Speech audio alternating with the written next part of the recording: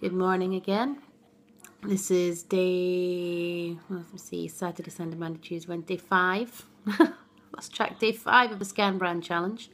Today I have made, well, I tried to make like a cheesecake. Yes, I'm having cheesecake for breakfast. um, the Scan Bran at the bottom, I just soaked in um, some sweetened coffee again and then broke it up and pressed it down, put it in the fridge.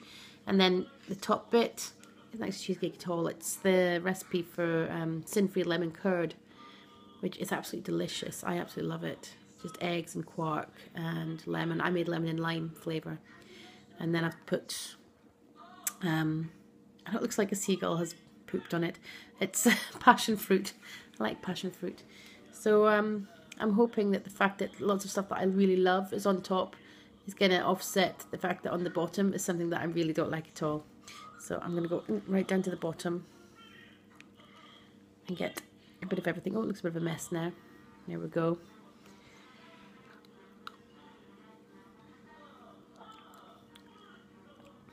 I can get away with that. That's fine. The top makes up for the bottom, so that'll do. It's not really a proper um, kind of biscuit base or anything, but it'll do. so I'm going to manage day five, no problem. That's fine. I'll get my Scan Bran out of the way for the day. I wanted to show you um, what I use for my treats to uh, feed my chocolate addiction. Um, these are one of my favourite things in the world. These are Mikado. I'll take one out and show you. They are long and thin. They are little biscuit sticks with chocolate on them. They are only half a syn each. You get a Mikado Go pack like this. There's, I think, 17 of them in there. So you can eat a whole pack of them and um, still be within your syns. It's brilliant. I also love matchmakers. These come in a variety of flavours. This one's the orange one. You can have mint. There's honeycomb ones. All different kind of flavours. Okay, I'll get one out. These are just sticks of chocolate with little tiny crispy bits of flavour in. They're one syn each. They are yumshas. I also picked up these in Aldi. That's my youngest watching Mr. Tumble. These, this is a box of Neapolitan chocolates. These work out at one and a half syns each. And you've got various different flavours. You've got milk chocolate, you've got hazelnut flavoured chocolate, you've got dark chocolate. They're really nice. Very yummy. Best, he's playing with balloons in there. Best of all, I also got these from Aldi.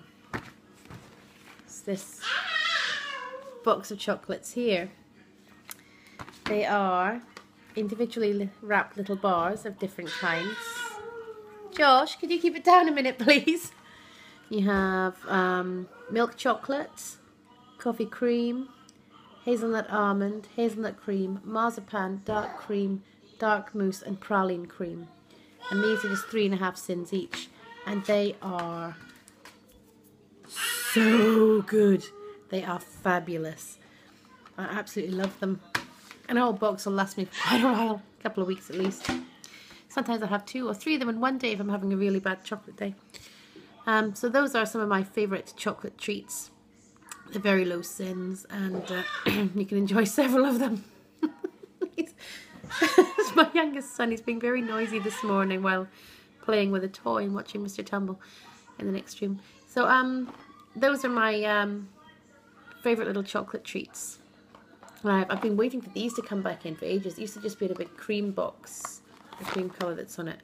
It was a bigger box before, um, but they are absolutely yumptious. I love these. And apparently they only come back in in the run up to Christmas, so there you go. Grab them while you can at Aldi's. um, so anyway, I'll leave the recipe, or the link to the recipe to uh, for the uh, lemon curd below. It's really nice. It's thick and creamy and it's thick and creamy and puddingy and yummy and it's one of my favorites.